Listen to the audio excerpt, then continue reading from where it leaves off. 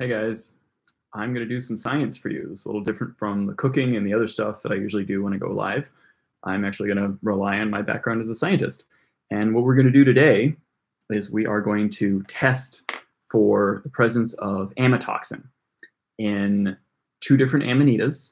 This one is ocreata. This Amanita ocreata. Is the Western destroying angel. This mushroom would do some very serious damage to me, if not kill me, if I ate it. So I'm not going to eat it. It's okay to touch it, but you definitely be careful. Um, I touch this with a level of caution, uh, and I'm, I'm going to wear gloves when I do this.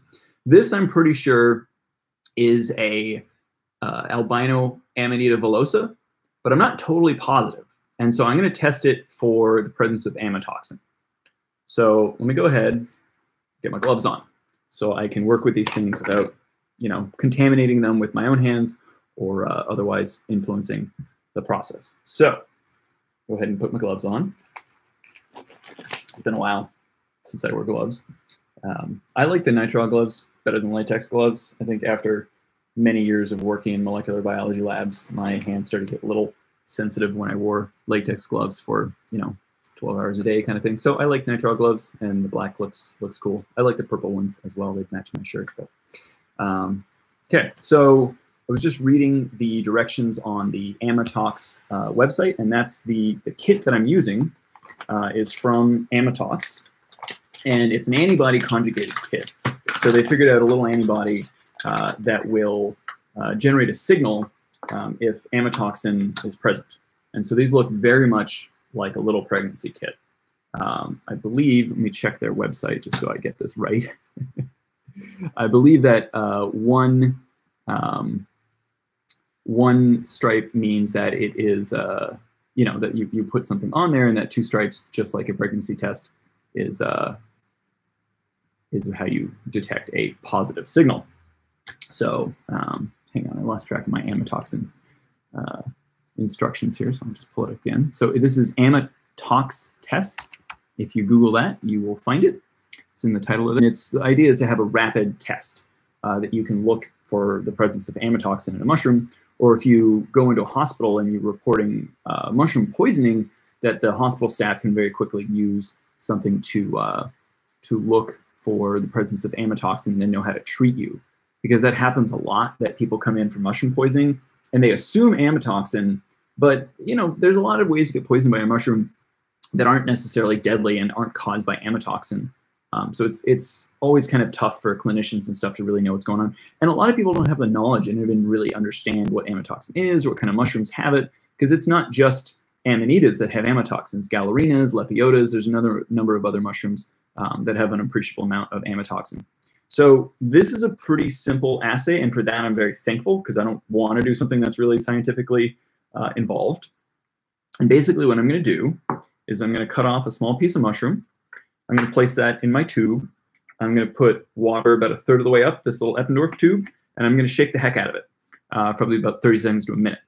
And then I will take a drop of that water and put it on my pregnancy test, and I will give it a few minutes to sort of expose. So um, this works well with urine as well, and I think that's another reason they did this as a thing for clinicians.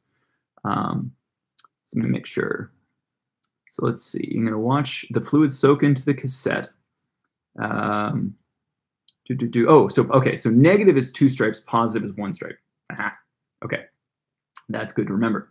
So, and what I've got here is I have a control from them. So this has a, a sample of amatoxin positive material. So I have a positive control, which is really important. You want to have like a negative and a positive control when you do an experiment.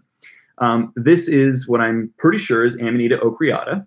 But again, I've seen some evidence. I've heard people talk about how ocreata can have differential levels of amatoxin. So I'm curious if this one has it. Um, and then there's this Amanita villosa, which I'm assuming is a negative control, because I'm pretty sure this is villosa, but it's a white villosa and it kind of makes some people nervous, um, including me. So I don't eat white villosa because I've always been curious, maybe it has some amatoxin. It looks more like the ocreata than, uh, than a regular villosa, which is, which is very pink and apricot colored. So I'm gonna get started. Um, I'm going to go ahead and just try to dissect out a little piece of nice clean tissue that I assume will have some mushroom uh, toxin in it. So I don't think I need a very big piece here, potentially. And I might even cut it up into a few smaller pieces to get better sort of surface area exposure. So I'm going to put this in my, my label is AO for Amanita ocreata. And these tubes have a, I don't know if you can see, a tiny bit of salt, tiny bit of salt in them. And that salt just helps with the probably the extraction of the protein because uh, amatoxins are peptides. So those are proteinaceous um, toxins. Okay, so do, do, do, I'll spray. There's really no reason for me to use alcohol. I'm just in the habit of it when I work with gloves and stuff like that. So um, let me go ahead and dissect out a little piece of this villosa tissue. I'm going to get right into the middle of the mushroom so I don't have too many bugs or slugs or bits of dirt and stuff on here. Again, I'm going to cut this up just a little bit to get increased surface exposure. And I probably don't need that much mushroom tissue. Um, ideally, this you know an antibody test is going to be fairly uh, sensitive. So, you know, between these three things, and again, important to label your tubes, but I've got a little bit of mushroom tissue in these guys, and I'm going to fill this up uh, with water. And whenever I'm working with um, mushrooms and doing lab work like this, I like to create some sort of organization in my zone so I understand what belongs where. And this is, you know, when you're working in a, in a biological safety cabinet or something like that, you can't you can't move laterally that much. Everything has to be kind of in and out. And so this is very much, um, I'm going to try to set this up as if I were, you know, in a lab and, and working with the same sort of ethos. So I'm to go ahead, try to position this so you guys can still see everything. Um, so I've got three tests. There's my third one. Um, thank you to Richard, by the way, for sending me these amatoxin tests, and thank you to Mikhail for cluing me into that these were finally commercially ready, because um, I'd heard about these a while ago and was really excited, but um, they weren't commercially available yet, and they are now. So you can order them from amatoxtest.com. Um, and this is, you know, it's a good thing to have around. If you've ever worried about your dog eating a poisonous mushroom and you want to know whether you should take your dog to the hospital or not, get one of these. It's a pretty quick way to figure it out. Um, see if I can actually open this with gloves on. There we go. So these are just little um, tubes. I'm not doing anything. There's nothing that I'm doing that's sterile here, so I don't need alcohol or need to really worry about you know these. I'm just trying to make sure that I, I have a dedicated um, stopper for each or dedicated pipette for each uh, each set so I don't cross contaminate. Okay, so boom, here's one. And the instructions were fill this about a third of the way up with water. So I probably don't need an entire mill. These are usually about a mill and a half. So that's probably about 500 uh, microliters or half a mill. Right about there. Great.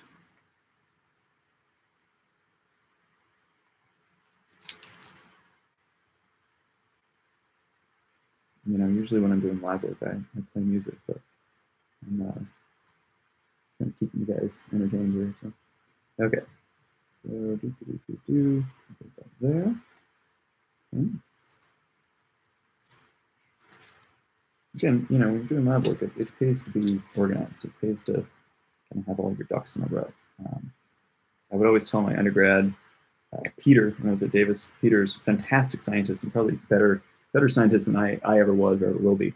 Um, but Peter came in very wide-eyed, very excited, and I taught him the ways of uh, being a grizzled old grad student and, uh, and told him all about what I call idiot proofing. So idiot proofing is, is something I do in a lot of my life because I am frequently an idiot. I screw things up all the time, uh, especially when it comes to order and uh, doing things in a logical way. I'm mildly dyslexic, which is something I've only really realized as an adult but it made a lot of sense to me because I was like, why, when I write, do I start words with like the second or third letter of a word and have to go back and write the first one? And like, just that's the way my brain works. And sometimes it helps me be a better communicator because I'm trying to be very straightforward so that I don't get confused. I'm idiot proof in the way that I talk to people uh, in real time and ideally helping them understand some of the complex things that I'm talking about. And so that's what I'm doing right now. um, I'm going to go ahead and I'm going to shake the heck out of it. So I can shake my hand, and you can just do this for like 30 seconds. Um, but because I'm extra, um, I went upstairs and pulled out pulled out this shaker and I picked up at the UC Davis um, surplus store. So just for shits and giggles, I'm gonna I'm gonna give it a go. Let's see if we can get it to work. So oh yeah,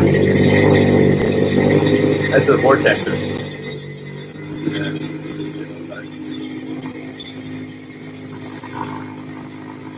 for Eppies,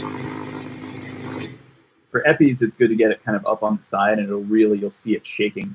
Um, do you need to do this? No, absolutely not. I'm just doing this because I can. It's a it's a flex. All right.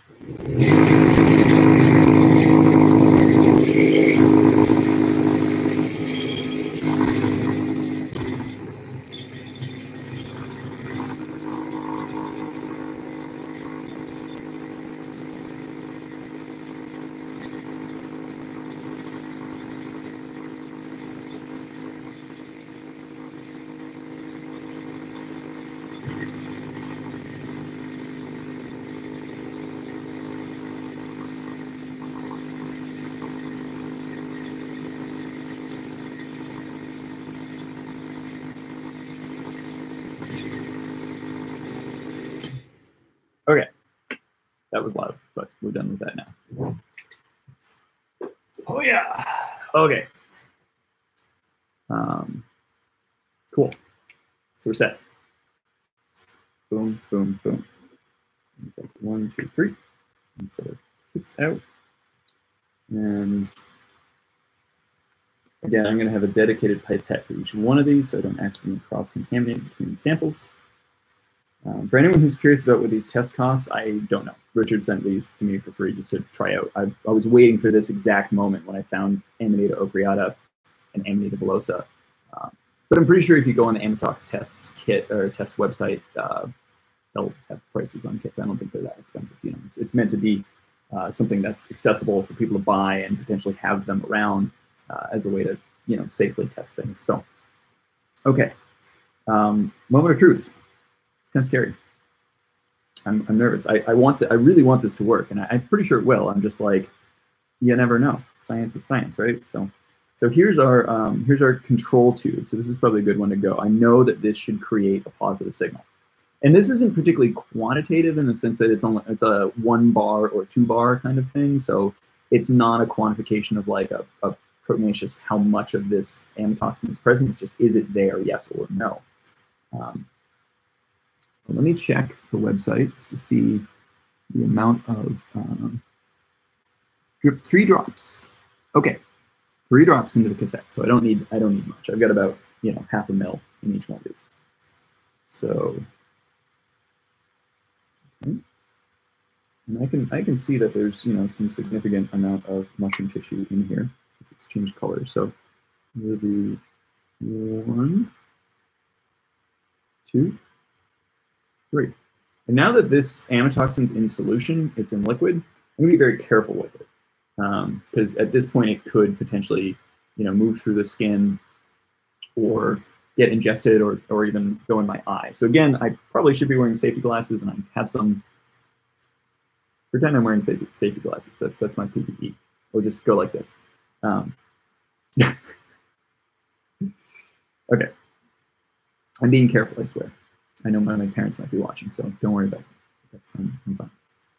Um, just shake that, get a little extra extraction. Okay. So, and again, you guys, I don't know if you can see it, but the way that this is worked, I'm a little more sketched out by the white ones, looking so much like Ocreata uh, that I don't eat them, just out of, out of an abundance of caution, even though I can follow the morphological cues of Amanita villosa, and I'm pretty sure it's villosa, not ocreata, but still it's white and you could easily confuse it. So, one, two, three. Okay, so I'm gonna let these continue to diffuse down, uh, and then I'll tell you guys a little bit about Amatox. So actually, here's here's the first one. You can see it. There's a single band So this is our positive control, and one band means there is amatoxin, and and we knew that. I mean, this is this is the the positive control that I got from amatox test, um, which means that somewhere they have a whole bunch of amanitas with amatoxins in them. Um, so that's good to see, and that's that's very cool. Um, amatoxin is is really scary stuff. So it's a it's a peptide that's in this uh, Amanita ocreata. It's also in uh, Lepiotas and Galerinas, and it's it's probably the most deadly toxic toxin that's in mushrooms. There's a lot of different toxins, but this is the one that will kill you if you eat it. Um, so it's very good to be able to recognize these Amanita ocreata because um, you really want to avoid them. And I, I, did a whole video on how to recognize them uh, last year, so you can scroll back in my IGTV history or you can check it out on YouTube. Uh, just Google the Western Destroying Angel, fascinated by fungi, you will find it. And uh, and you know the the things to really look for is this has sort of this white ochre brownish orangey top and, and that color is, is the least robust part of being able to identify an ocreata. Um, the best thing for me is to be able to see that the stipe itself is solid and not hollow inside. So if anyone watched that amanita vernicoccora video i posted the other day it had a nice big uh, hollow pore in the middle of the stipe. Um, it doesn't have any uh, striations on the edge compared to what a Vernicoccora or a Amanita villosa looks like. It doesn't have a thick white skull cap. Um, it generally has a more well-defined sort of annulus or skirt. And there's a few other sort of characteristics you can use, um, particularly to this mushroom stains orangey yellow with uh, with KOH. So th there's a couple of things you can do in your toolkit to identify this mushroom. Um, and you know, exercise extreme amounts of caution. This mushroom kills people in California every year. Um, people confuse it for another edible species. People from Southeast Asia particularly think that this is a Volvariella species. It's not. It's deadly. So,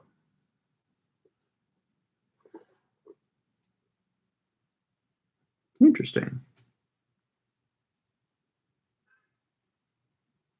Hmm. Well, I'm looking at my kits here, let me label them so if I pick them up, I'll, I'll know which one's which. So that's supposed to be positive. This is my um, Amanita ocreata, and this is the Amanita villosa. Um, I am not sure if they sent me a positive or a negative kit now. I'm pretty sure they said it was a positive kit. Um, but I am a little confused because I'll show you guys what I'm looking at here. They all have one strip.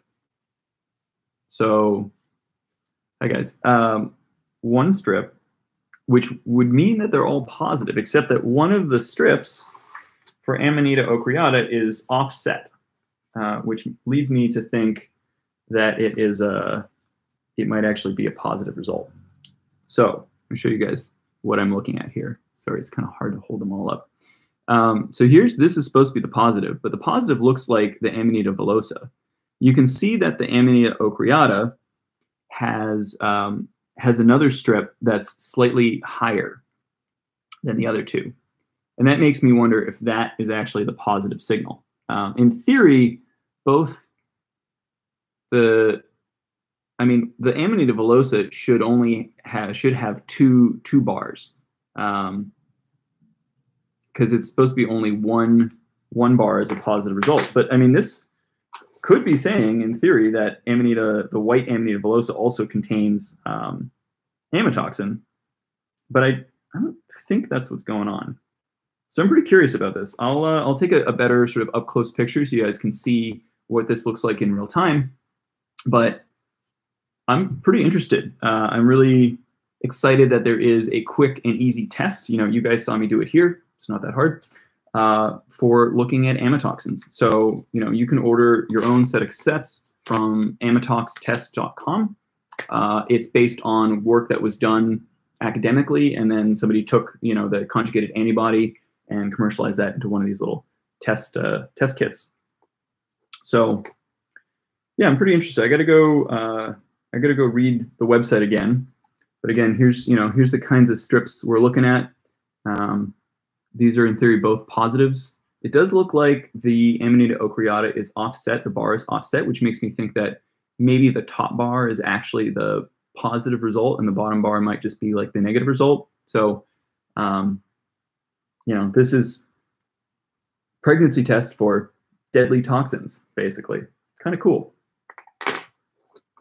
Well, I'm gonna go. Um, it's been fun. Thanks, guys, for hanging out with me.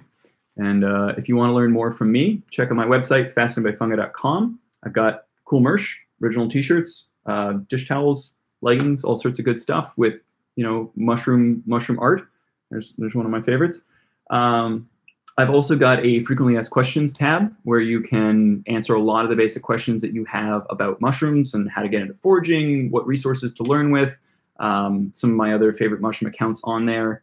Um, yeah, follow me Instagram, YouTube, Facebook, TikTok, um, iNaturalist, Pinterest, uh, all sorts of stuff. Um, I may soon be starting an only fungi, which will be interesting. But you know, why not hang out on every platform? Could be fun. So anyhow, thanks guys. Have a good one. Cheers. Bye bye. Okay, YouTube. I'm gonna say goodbye to YouTube. Bye.